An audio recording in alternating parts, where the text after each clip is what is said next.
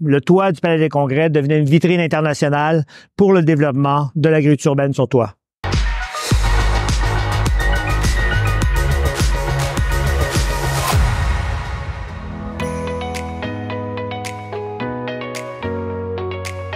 Oui, le toit vert, en fait, non, c'est une idée du Palais des Congrès de Montréal en 2011. En 2016, le laboratoire de l'agriculture urbaine, on cherchait un lieu, on cherchait un, espace qui permettrait de développer des prototypes, de développer un savoir-faire et aussi de développer une vitrine technologique sur l'agriculture urbaine. C'est quand même un endroit emblématique. Le Palais des Congrès de Montréal reçoit énormément de monde.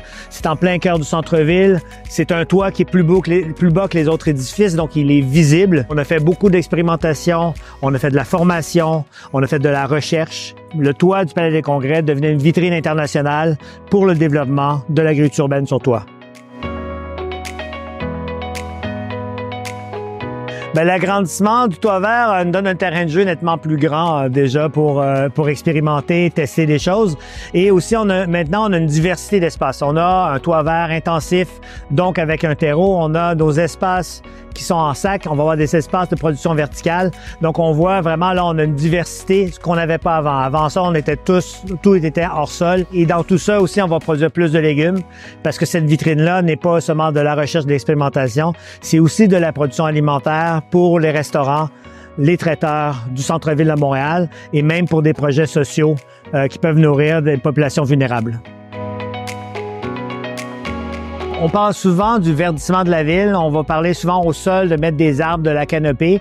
Mais dans les centres-villes, comme le centre-ville de Montréal, c'est avant tout des toits qui sont minéralisés. C'est les toits qui sont des eaux de chaleur. Les verdir, c'est important. On va les verdir pour réduire la température de la ville. Donc, quelque part, s'adapter aux changements climatiques qui sont en cours. Donc, faire de la lutte aux eaux de chaleur. Mais simultanément, on crée des oasis de biodiversité, mais aussi ça peut devenir des espaces aussi très sociaux. On cherche des nouveaux espaces, des parcs, des espaces publics. Ben, les toits peuvent devenir des espaces comme ça.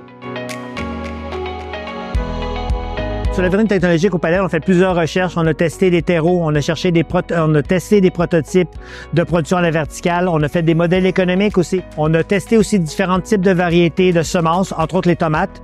Euh, souvent, on a tendance à prendre des semences du Québec ancestrales, mais qui ne sont pas du tout adaptées aux conditions climatiques d'un toit où il fait très chaud.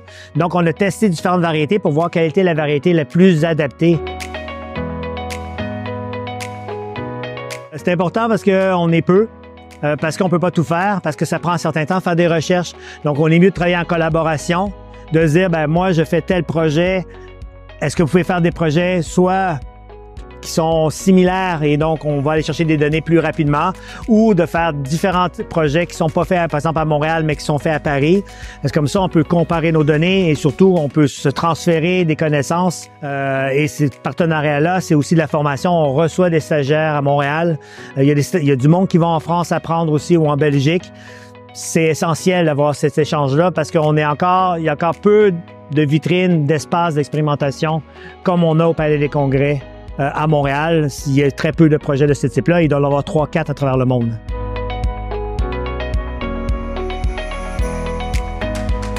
L'idée est quand même toujours d'éduquer, de sensibiliser, de faire connaître. Mais après ça, on va aussi recevoir, prévu de recevoir des promoteurs immobiliers, de recevoir des personnes des municipalités. On reçoit à chaque semaine deux à trois groupes qui veulent visiter. Donc, on a prévu recevoir bientôt euh, des personnes de la ville de Montréal pour leur montrer, ben, un toit vert, c'est possible à Montréal. Ça, ressemble, ça peut ressembler à ça. Donc, je pense que cette vitrine-là est essentielle mais en même temps, elle a joué un rôle dans la formation depuis dix ans.